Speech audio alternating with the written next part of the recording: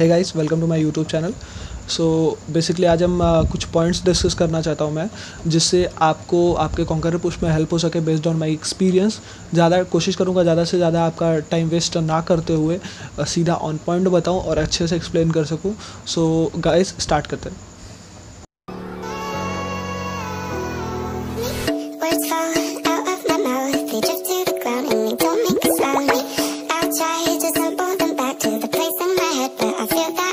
So guys जो अपना first point है preferred map for playing so आपको कौन सा मैप खेलना चाहिए? पहला चीज़ इरेंगल इरेंगल आप खेलना चाह रहे हो, अभी हैकर नहीं आ रहे तो खेलो, जैसे आप ये आप लोअर लो लीग पे हो तो आप खेल सकते हो बट अगर आपको हैकर्स मिल रहे हैं, आपको बहुत प्रॉब्लम हो रहा है इरेंगल में तो आप विकेंडी या मेरा मार। बेस्ड ऑन योर चॉइस आप खेल सकते हो। अगर आप मेरा मार के अच्छे, मेरा मार में अच्छा खेलते हो, आप मेरा मार ट्राई करो। विकेंडी में अच्छा खेलते हो विकेंडी ट्राई करो। पर्सनली मैं विकेंडी खेलता हूँ, क्योंकि उसके जोन रोटेशन मेरे को अच्छे लगते हैं। मेरे को उस विकेंडी के बारे में थोड़ा सा ज़्यादा एक्सपीरियंस है कंपेयर टू मेरा मार। मेरा मार में रोटेशन थोड़े हार्ड होते हैं, इस वजह से मैं मेरा मार प्रेफर नहीं करता। और विकेंडी मेरा मार इरेंगल तीनों में आपको अच्छे पॉइंट्स प्लस होंगे। एक्चुअली अगर आप लास्ट तक सर्वाइव करते हो। तो गैस सेकेंड जो पॉइंट है अपना, वो है प्लेइंग टाइम तो आपको लॉबी कभी इजी मिलेगी, कब हैकर्स कब मिलेंगे, आपको पॉइंट अच्छा चाहिए तो आपको कब खेलना चाहिए तो इसके लिए सीधा सीधा है। सुबह चार से लेके ग्यारह के बीच में खेलो आप। आपको लॉबी बहुत इजी बहुत इजी नहीं इजी मिलेगी बट उसमें हैकर्स नहीं होंगे। चांसेस बहुत कम होते हैं सुबह के टाइम हैकर्स का। लॉबी इजी मिलती है बट उसमें पॉइंट्स कम मिलते हैं। तो आपको किल्स उसमें निकालने पड़ेंगे अगर आपको पॉइंट एक्स्ट्रा चाहिए होगा ऐसी लॉबी में। लेकिन अगर आपको ऐसी लॉबी चाहिए जिसमें थोड़े से आपके पॉइंट्स एक्स्ट्रा गेन हो, आप थोड़ा कम भी सर्वा कम भी किल सर्वाइव करें तो भी तो आप उसके लिए विकेंडी या मेरा मार खेल सकते हो, क्योंकि उसमें बंदे जो आएँगे वो लेजिट रहेंगे। लास्ट तक अच्छे खासे बंदे सर्वाइव करते रहते हैं लास्ट जोन तक तो वहाँ पे आप अगर सर्वाइव करोगे तो वहाँ पे आपको पॉइंट अच्छा मिलेगा। गैस अपना थर्ड चीज़ जो है, वो है drop location most of the बंदे भाई ड्रॉप के लिए काफ़ी परेशान थे, वो कहाँ पे उतरे तो सीधी चीज़ है, अगर अभी आप रैंक पोस्ट स्टार्ट कर चुके हो तो आपका जो ड्रॉप लोकेशन है, आप उसी से स्टक रहो। अभी तक आपके लिए सब कुछ अच्छा जा रहा है तो मे बी फ्यूचर में भी अच्छा जाएगा। लेकिन अगर आप वहाँ पे एक दो बारी आप पिट चुके हो, आपका माइनस लग चुका है तो आप ट्राई करो कि दूसरे जगह जाने का। जैसे कि मेरा पर्सनल फेवरेट एरिया था हॉस्पिटल के लेफ़्ट साइड वाला जॉर्जो सिटी जो है। मीन्स नीचे छोटी वाली सिटी मैं वहाँ पर जाता था, वहाँ से स्काउट कर लेता था मेन सिटी अगर कोई आया है तो मैं फिर मेन सिटी नहीं जाता था, वरना मेन सिटी एक जोन क्रॉस करने के बाद मैं मेन सिटी चला जाता था। ऐसे क्या होता था जॉर्जो पुल में जो हैकर आते थे, अगर कोई हैकर आया तो वो वहाँ से मेरे को स्पॉट नहीं कर पाएगा, वो वापस अपना रोटेशन दे देंगे, मैं आराम से जॉर्जो सिटी की भी लूट मेरे को मिल जाती थी। तो आप ऐसी चीज़ें कर सकते हैं बट यहाँ पर रहने का जॉर्जो सिटी का, इधर के एरिया लूटने का आपको डिसएडवांटेज है। कभी कभी आप पे बंदे ब्लाइंड पुश कर देते हैं हैकर्स ब्लाइंड पुश कर देते हैं तो वो सब सिचुएशन में आपको एक एग्जिट प्लान अपने पास रखना होगा।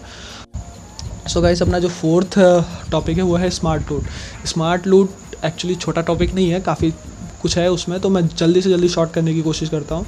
स्मार्ट लूट है कि आप सिचुएशन के हिसाब से आप लूटिंग करो.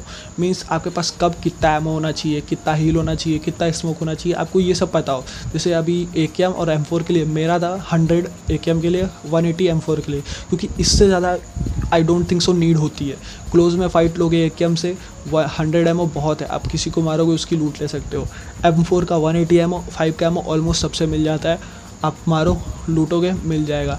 और उसके बाद आपका आता है meds bandages painkiller energy drink तो एक्चुअली अगर जोन के बाहर आप डैमेज ले रहे हो तो आपको बैंडेजेस थोड़े कैरी करने पड़ेंगे, लेकिन मैं कहूँगा अगर आपको बैंड फ़र्स्ट एड्स ज़्यादा मिल रहे हैं, जैसे आपको अगर चार फ़र्स्ट एड के अलावा भी फ़र्स्ट एड मिलते जा रहे हैं तो आप फ़र्स्ट एड उठाओ बैंडेजेस कम करते चले जाओ। और बैंडेजेस मिनिमम दस से पंद्रह रखो, गाड़ी में बैठ के हील करते वक्त वो हेल्प करते हैं। बाकी पेन किलर और एनर्जी ड्रिंक में से आप कोशिश करो एनर्जी ड्रिंक को ऑटो पिकअप पे छः कर दो पेन किलर को एक कर दो बिकॉज़ एनर्जी ड्रिंक स्पेस कम जो है एक्वायर करती है बैक पैक में कंपेयर टू पेन किलर तो पेन किलर के ऊपर आप एनर्जी ड्रिंक रखो, बाकी स्मोक्स आप कैरी करो चार से पाँच नेट्स तीन, एक मॉली आप अपना उस हिसाब से कर सकते हो। लास्ट जोन में जितना जाते रहो, उस हिसाब से स्मोक्स और ग्रेनेड्स बढ़ाते रहना अपने। और लास्ट जोन में जैसे आपको अगर मौका मिल रहा है तो स्नाइपर की जगह चेंज करके क्लोज रेंज वेपन उठा सकते हो तो उठा लो। ये सब चीज़ स्मार्ट टूट के अंदर है कि आप अपने समझदारी के हिसाब से आपको जहाँ जो सिचुएशन है, वो चीज़ आप उस वक्त वहाँ पे कैरी करो। और गैस अपना जो फिफ्थ टॉपिक है, वो है अपना हैकर्स और टीम अप वालों को अवॉइड करना। कि इनको ये मैच में है तो पहली चीज़ तो आप हैकर्स को नहीं मार सकते टीम अप वालों को तो एक बार ही सोचा जा सकता है बट हैकर्स को नहीं मार सकते आप। तो आप, आपको जब पता चल जाए लॉबी में कोई हैकर है तो आप उसी टाइम से एज टू एज प्रीफर करो खेलना। थर्ड जोन तक डैमेज लो। फोर्थ जोन में क्या करो? ब्लू जोन के साथ साथ मूव इन करो। हर बारी अब आप ब्लू जोन के साथ मूव करो। जैसे ही आपको पता चला कि आपके सामने वाले कंपाउंड में हकर लड़ रहा है, वो और वो आपको वहाँ पे स्पॉट कर सकता है जहाँ पे अभी आप हो। आपके पास अच्छा कवर नहीं है। तो आप वहाँ से गाड़ी लेके निकल जाओ दूसरे साइड उस हैकर को लॉबी खाली करने दो। कोशिश करो वो हैकर सबसे लड़ ले।